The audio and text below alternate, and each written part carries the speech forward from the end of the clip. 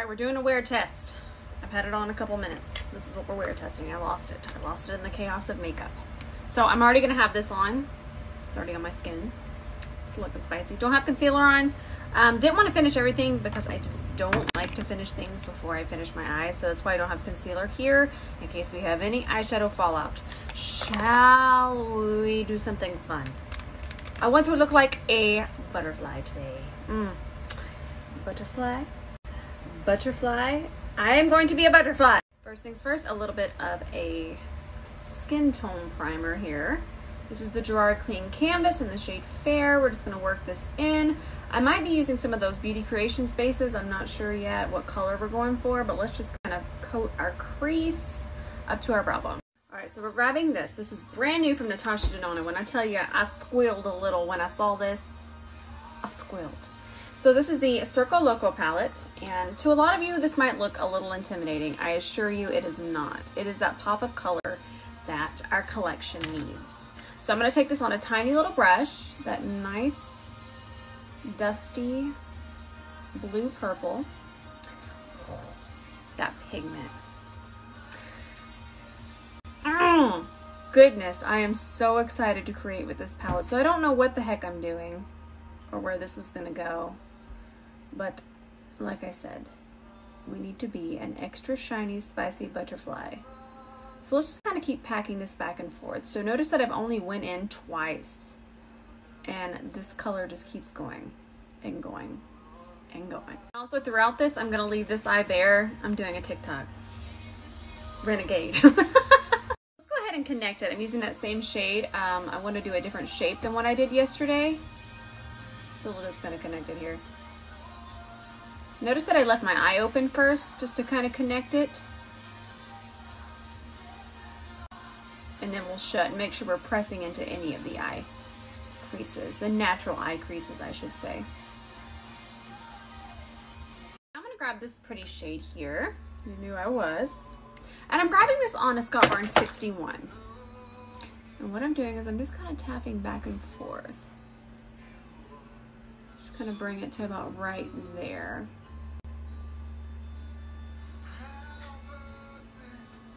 And I'm really pressing this into the base. And that's gonna kind of blend with that dark blue purple shade we got going on. Woo! I'm gonna grab this pretty shade here. You knew I was. And I'm grabbing this on a Scott Barnes 61. And what I'm doing is I'm just kind of tapping back and forth. Just kind of bring it to about right there.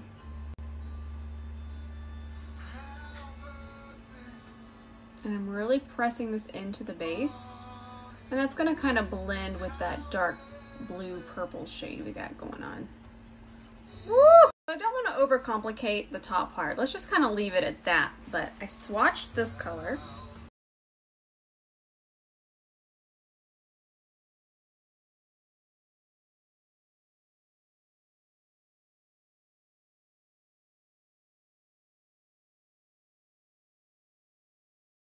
Eyeball. So let's grab this Beauty Creations base here. And look at this, we're only gonna use that much. Just a, just a little whisper of that. In fact, I might take some of that down, but for right now I'm gonna grab just a concealer brush. And, oh no, that's gonna be plenty, that's perfect. And we'll just kind of come through here and ever so lightly carve this out.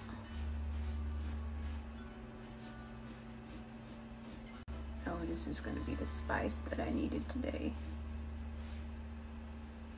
And then for hooded eyes, notice that how my eye is folding right here. You can see that I took that blue base right outside of that. If you need to tilt your head back just to kind of keep doing that and see where you're at. But this is such a good indication for hooded eyes. You can see that fold, but I'm kind of just taking it right over that fold. I'm just, just kind of following that. So here I have the blue color and I'm just gonna tap that through here. What did we do to, to deserve this blue? Look at that. I'm a butterfly. I'm going to go flutter and make a coffee. I just grabbed a little bit smaller brush just to kind of push that same blue right to the edge here.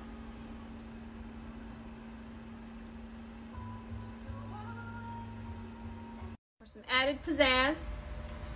I don't know why I'm screaming. I'm excited. I'm gonna grab this shade right here. And I just switched my brushes. So I'm gonna pop this through here. Mm-hmm. And then with whatever's left, let's just kind of pop a little bit right through the center just so it kind of really brings that lid forward. Now I'm gonna grab this Mario pencil. This one's in the shade Rich Blue. And I just kind of ran this back and forth while Douglas tells us things. Douglas, what do you need? What is it? Let's just go ahead and do our top waterline as well. I'm also going to take that same Mario pencil and run it across my bottom waterline. Alright, we have some micellar water here. And then let's really clean this up underneath here so it really looks like a wing. By the way, this is my inspo here. These blue butterflies. I'm just gonna grab the same lash that I wore yesterday. I really liked them. And just kind of pop that on. There we go. Jazzy insists that I hold her at the moment. I'm sure most of you hardly even have ever seen Jazzy. She's reclusive. Since I'm doing a wear test on the foundation, I'm only going to use a very small amount of my concealer. I don't really want it to mix too heavily in to the foundation, so we'll just do a little bit there. I'm going to have to finish this one in a minute. There's my concealer brush. Everything is way too convenient at the moment. I feel that it's all going to come crashing down momentarily. That should do. I'm trying to keep it pretty focused around here. And then this is my Anisa Beauty Angled Concealer Brush. And then we connect. I'm gonna grab my Lorac powder. This is a pink powder. It's in the shade Soft Rose. There's my puff. Got my little puffy.